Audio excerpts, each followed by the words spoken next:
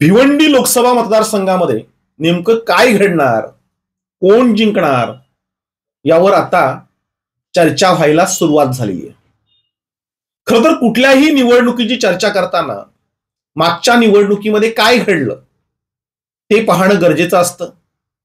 मागच्या निवडणुकीतील आकडेवारी अभ्यासणं गरजेचं असतं. आणि म्हणूनच दोन हजार एकोणीसच्या लोकसभा निवडणुकीमध्ये कोणाला किती मतं मिळालीत? यावर आपण आज दृष्टिक्षेप टाकणार आहोत. खर तर भिवंडी लोकसभा मतदारसंघ हा देशभरामध्ये गाजलेला आणि नावाजलेला मतदारसंघ आहे. तो यासाठी की हा मतदारसंघ मुस्लिम मतदारांसाठी ओळखला जातो. प्रत्यक्षात पार्श्वभूमी काय आहे? मुस्लिम उमेदवार कोणाच्या पाठीशी उभे राहतात? भिवंडीमध्ये काय घडतंय? हे अभ्यासणं जरुरीचं आहे. भिवंडी लोकसभा मतदारसंघामध्ये फक्त भिवंडी नाहीये. तर इथे सहा विधानसभा मतदारसंघ येतात. या सहापैकी दोन विधानसभा मतदारसंघ हे फक्त भिवंडी शहरामध्ये येतात. आणि चार मतदारसंघ हे भिवंडीच्या बाहेर आहेत. आता या सहा मतदारसंघामध्ये नेमकं काय घडतंय? किंवा आधी काय घडलं होतं? ते पाहूया. म्हणजे भिवंडी पूर्व आणि भिवंडी पश्चिम. असे जे भिवंडी शहरातील दोन मतदारसंघ आहेत तेथील मतदारांवर काँग्रेसची मोठी भिस्त असते. जे काँग्रेसचा उमेदवार हा मुस्लिम मतांवर निवडून येऊ शकतो असं प्रत्येक निवडणुकीमध्ये वाटत असतं. आता दोन हजार चौदाची आपण निवडणूक बघितली किंवा दोन हजार एकोणीसची निवडणूक बघितली दोन्ही निवडणुकींमध्ये जरी भिवंडी काँग्रेसच्या पाठीशी उभी राहिली तरी ज्या ताकदीने ती उभी राहायला पाहिजे होती त्या ताकदीने उभी राहिलेली दिसत नाहीये. म्हणजे आपण आकडेवारी बघूया. भिवंडी पश्चिम हा जो मतदारसंघ आहे या मतदारसंघामध्ये भाजपाला म्हणजे कपिल पाटील यांना बावन्न हजार आठशे छप्पन्न एवढं मतदान झालं होतं.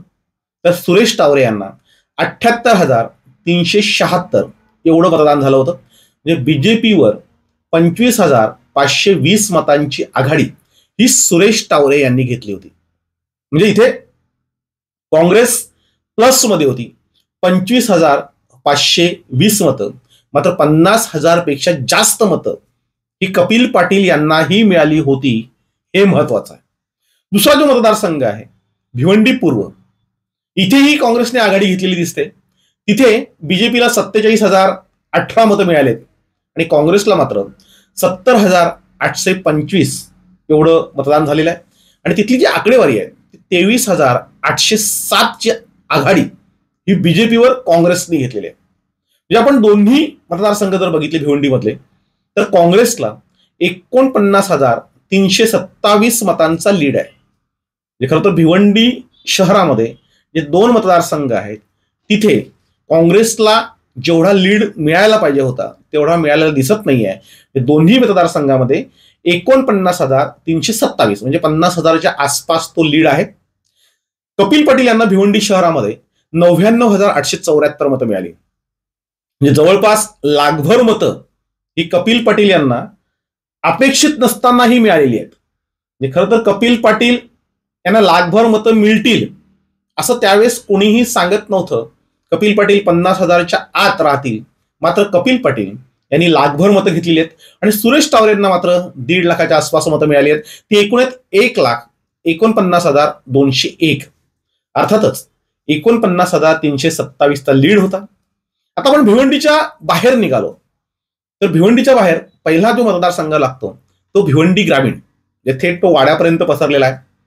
आणि ही जी आघाडी एकोणपन्नास हजार तीनशे सत्तावीसची ती ही या एकाच मतदारसंघाने तोडलेली आहे. म्हणजे तिथे कपिल पाटील यांना एक लाख अकरा हजार पाचशे एकसष्ट एवढं प्रचंड मतदान झालं होतं. भिवंडी ग्रामीणमध्ये. आणि सुरेश टावरे यांना त्रेपन्न हजार सहाशे एकोणसत्तर. भिवंडीच्या बाहेर निघल्याबरोबर काँग्रेसचा वारू हा रोखला गेलेला आहे. आणि बीजेपीने तो लीड घेतला होता. सत्तावन्न हजार आठशे ब्याण्णव मतांचा. म्हणजे भिवंडीत जे कमावलं ते भिवंडी ग्रामीणमध्ये गमावलेलं दिसतंय. तिथे जो लीड होता त्याच्यापेक्षा आठ हजार पाचशे पंचावन्न मतं ही बीजेपीला जास्त मिळालेली आहेत. म्हणजे काँग्रेसला भिवंडी ग्रामीणने रोखलेलं आहे. म्हणजे भिवंडी शहरामध्ये जेवढा लीड मिळाला त्याच्यापेक्षा जास्त एका मतदारसंघात म्हणजे भिवंडी ग्रामीणमध्ये तो मिळालेला आहे. म्हणजे भिवंडी शहरामध्ये एकोणपन्नास हजार तीनशे सत्तावीसचा लीड होता. तो तोडून आठ हजार पाचशे पंचावन्न मतं ही कपिल पाटील यांना तिथे जास्त मिळाली होती. आता इथेच बरोबरीपेक्षा जास्त मतं मिळालेत. पुढे तर भाजपचे बालेकिल्ले आहेत. मुरबाड हा बालेकिल्ला आहे. अगदी कल्याण पश्चिम हा शिवसेना आणि भाजपाचा बालेकिल्ला म्हणजे दोघांची ताकद सेम आहे. आपण बघूया मुरबाडमध्ये काय झालंय. जिथे बोनस त्यांना मिळालेला आहे. मुरबाडमध्ये कपिल पाटील यांना एक लाख पंचवीस हजार दोनशे पन्नास मतं मिळालेले आहेत. आणि सुरेश टावरे यांना साठ हजार आठशे शहाण्णव मतं मिळाले म्हणजे इथे चौसष्ट हजार तीनशे चोपन्नचा लीड हा काँग्रेसवर बीजेपीने घेतलेला आहे. पुढचा मतदारसंघ आहे कल्याण पश्चिम. म्हणजे पहिल्या क्रमांकाची मतं इथे शिवसेना भाजपाला मिळतात. तिथे अजूनपर्यंत काँग्रेस राष्ट्रवादीची किंवा विरोधकांची डाळ शिजलेली नाही अशी परिस्थिती आहे. तिथे कपिल पाटील यांना एक लाख सतरा हजार चारशे चाळीस मतं तर सुरेश टावरे यांना एकोणपन्नास हजार तीनशे पंच्याऐंशी मतं मिळाली. म्हणजे अडसष्ट हजार पंचावन्न मतांचा लीड मुरबाडमध्ये चौसष्ट हजाराचा कल्याणमध्ये अडसष्ट हजाराचा. आणि ते दोन मतदारसंघाचा लीड तोडून आठ हजार पाचशे पंचावन्न मतांचा लीड हा भिवंडी ग्रामीणमध्ये. म्हणजे इथे त्यांचा विजय फिक्स होता. शहापूरमध्ये अगदी बरोबरी झालेली दिसते. तिथे कपिल पाटील यांना सदुसष्ट हजार नऊशे सात. आणि सुरेश टावरे यांना त्रेपन्न हजार पाचशे वीस म्हणजे कपिल पाटीलांना तिथेही चौदा हजार तीनशे सत्याऐंशी मतांचा लीड आहे. म्हणजे शहापूरमध्ये कपिल पाटील यांना लीड कमी मिळालेला आहे. म्हणजे अगदी भिवंडी ग्रामीणला सत्तावन्न हजार आठशे ब्याण्णवचा लीड आहे. शहापूरमध्ये मात्र चौदा हजार तीनशे सत्याऐंशीचा लीड आहे. म्हणजे दोन मतदारसंघ सोडले. तो उर्वरित चारही मतदारसंघामध्ये कपिल पाटील यांनी बाजी मारलेली आहे. आणि तिथे आसपासही काँग्रेस दिसत नाही. म्हणजे शहापूरमध्ये थोडाफार आहे. चौदा हजार तीनशे सत्याऐंशी मतांनी फक्त ते कमी आहेत. मात्र मुरबाड असेल कल्याण असेल किंवा भिवंडी ग्रामीण असेल हे तिन्ही बालेकिल्ले हे भाजपचे. पर्यायाने ते कपिल पाटील यांचे आहेत. म्हणजे कपिल पाटील यांचं स्वतःचंही प्रस्त एक वेगळं प्रस्त त्या मतदारसंघांमध्ये स्वतःची एक वेगळी फौज कार्यकर्त्यांची तिथे आहे. आणि त्याच्यामुळं हे तिन्ही मतदारसंघ हे कपिल पाटील यांना नेहमी चिंकून देतात. म्हणजे भिवंडीची भर जी आहे ती भिवंडीच्या बाहेर निघल्याबरोबर भिवंडी ग्रामीण काढतोय. आणि म्हणून ही जर आपण आकडेवारी बघितली तर हे साही विधानसभा मतदारसंघामध्ये दोन मतदारसंघ जर सोडले खरं तर दोन मतदारसंघामध्येही अपेक्षेपेक्षा जास्त मतं ही कपिल पाटील यांना मिळतात. म्हणजे लाखभर मतं कपिल पाटील तिथे घेतात. आता कपिल पाटील यांना चार मतदारसंघाचा जो लीड होता तो होता दोन लाख चार हजार सहाशे अठ्ठ्याऐंशी मतांचा. आणि सुरेश टावरे यांना दोन मतदारसंघामध्ये एकोणपन्नास हजार तीनशे सत्तावीस मतांचा लीड होता. आता दोन लाख चार हजार सहाशे अठ्ठ्याऐंशी मायनस एकोणपन्नास हजार तीनशे सत्तावीस जे दोन मतदारसंघातला लीड आणि यांचा चार मतदारसंघातला लीड जर आपण वजा केला तर तो एक लाख पंचावन्न हजार तीनशे एकसष्ट एवढा होतो. प्लस पोस्टल जी मतं होती ती पोस्टल मतं कपिल पाटील यांना पंधराशे एक्कावन्न पडली होती. आणि सुरेश टावरे यांना फक्त पाचशे त्र्याऐंशी होते. म्हणजे नऊशे अडसष्ट मतांनी तिथेही कपिल पाटील प्लसने होते. आता पोस्टल मतं आणि ही मतं. यांची जर बेरीज मारली तर ती होती एक लाख छप्पन्न हजार तीनशे एकोणतीस. एक लाख छप्पन्न हजार तीनशे एकोणतीस एवढ्या मतांनी भिवंडी लोकसभा मत मतदारसंघामध्ये विजयी होणं हा काही जोक नाहीये. आणि जेवढी मतं त्यांना पडायला पाहिजे होती त्याच्यापेक्षा जास्त. म्हणजे निम्म्यापेक्षा जास्त. बावन्न टक्के मतांनी ते जिंकलेले आहेत. बावन्न पॉईंट एक टक्के मतांनी कपिल पाटील यांचा विजय झालेला आहे. आता जर कपिल पाटील यांच्या विरोधात आघाडी उघडायची असेल तर पहिल्यांदा कपिल पाटील यांचे वीक पॉईंट शोधले पाहिजेत. म्हणजे कपिल पाटील यांचे प्लस पॉईंट अनेक आहेत. ते प्लस पॉईंट तोडून त्यांचे वीक पॉईंट जे असतील त्या वीक पॉईंटवर हिट केलं पाहिजे म्हणजे खरं तर कपिल पाटील यांचे जे बालेकिल्ले आहेत मुरबाड असेल कल्याण पश्चिम असेल भिवंडी ग्रामीण असेल हे तिन्ही मतदारसंघ पहिल्यांदा काँग्रेसला तोडावे लागतील ते फोडावे लागतील तिथे चांगल्या प्रकारे त्यांना बांधणी करावी लागेल. कारण मुरबाड मतदारसंघामध्येही भाजप जेवढी आहे तेवढीच कपिल पटेल समर्थकांची फौजी आहे. कल्याण पश्चिममध्ये तीच परिस्थिती आहे भिवंडी ग्रामीणमध्येही तीच परिस्थिती आहे. ह्या तिन्ही मतदारसंघावर काँग्रेसला विशेष लक्ष द्यावं लागेल.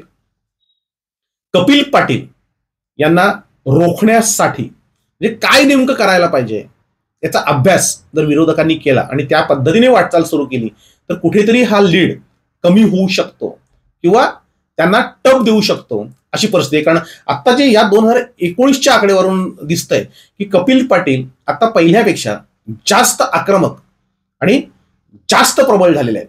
कारण ते आता यावरची जी निवडणूक आहे ती करो या मरोची निवडणूक आहे. ती मोदींसाठीही आहे ती राहुल गांधींसाठी आहे काँग्रेससाठी आहे ती भाजपसाठी आहे कार्यकर्त्यांसाठी ती नेत्यांसाठी आहे. आणि म्हणून अधिक आक्रमक पद्धतीने ती लढली जाईल. मात्र तेवढी ती अभ्यासपूर्ण अशी त्यांना लढावी लागेल. दोन हजार एकशे पंच्याहत्तर बूथ आहेत. या दोन हजार एकशे पंच्याहत्तर बूथवर कार्यकर्त्यांची फौज उभी करावी लागेल. म्हणजे हवेतल्या गप्पा मारून चालणार नाही दोन हजार चौदाला कपिल पाटील यांचा विजय झाल्यानंतर दोन हजार एकोणीसला कपिल पाटील हे पराभूत होतील अशा पद्धतीची मांडणी केली जात होती. त्यांच्यावर प्रचंड टीका केली जात होती. त्यांचा पराभव होईल असं सांगितलं जात होतं. प्रत्यक्षात त्यांना निम्मेपेक्षा जे मतदान झालं होतं त्याच्यापेक्षा त्यांना जास्त मतं मिळाली. आता कपिल पाटील यांचे वीक पॉईंट कोणते? हे जर विरोधकांनी शोधले नाही तर विरोधक फसतील. कारण कपिल पाटील हे दोन वेळा खासदार आहेत. लोकसभा निवडणुकांचा अभ्यास आहे तसाच लोकसभेचाही त्यांना अभ्यास आहे. त्यांनी दहा वर्ष लोकसभेमध्ये काढलेले आहेत. त्याच्यातलं काही काळ त्यांचा मंत्रीपदाचा आहे. ग्रामविकास खात्याचे ते मंत्री असतानाही त्यांचा कुठलाही भ्रष्टाचार हा बाहेर आलेला नाही विरोधक ते काढू शकलेला नाही. हा त्यांचा एक प्लस पॉईंट आहे.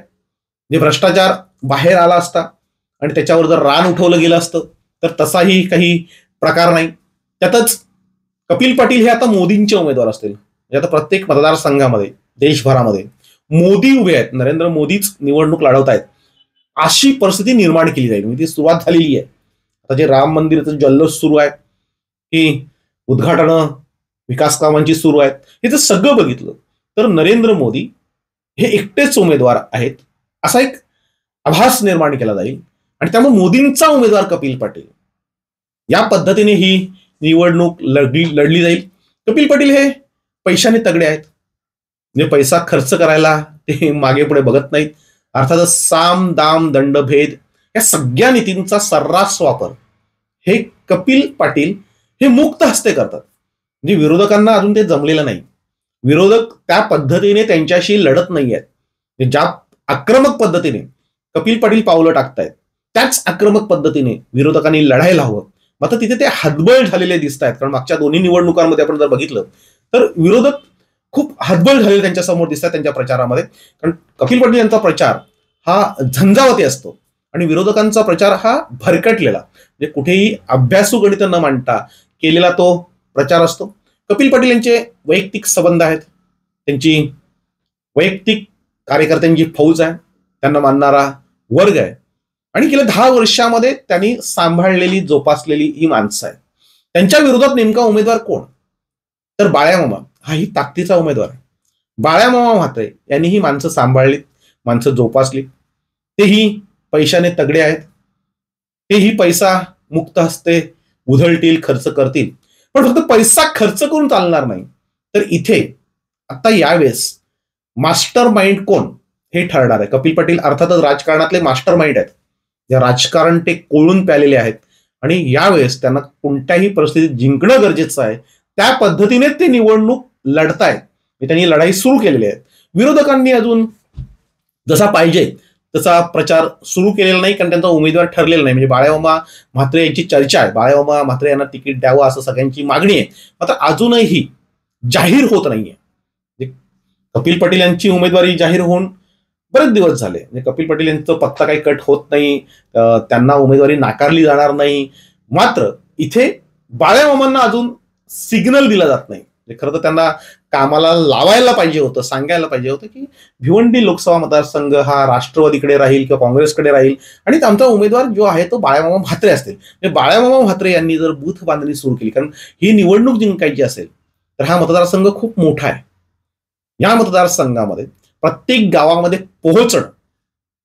त्या गावामध्ये कार्यकर्त्यांची फौज उभी करणं हे खूप गरजेचं आहे. म्हणजे दोन हजार एकशे पंच्याहत्तर बूथवर लोक देणं निवडणुकीच्या दिवशी तिथे कार्यकर्ते उभे करणं मतदान काढणं हे खूप गरजेचं असतं. याच्यामध्ये भारतीय जनता पार्टी आणि शिवसेना ही तरबेज असते. आणि म्हणून यावेळेस कपिल पाटील यांना जर टक्कर द्यायची असेल तर त्या पद्धतीने विरोधकांना बांधणी करावी लागेल. कारण दोन हजार एकोणीसची जर आकडेवारी आपण बघितली तर ती विरोधकांसाठी फारशी समाधानकारक नाहीये.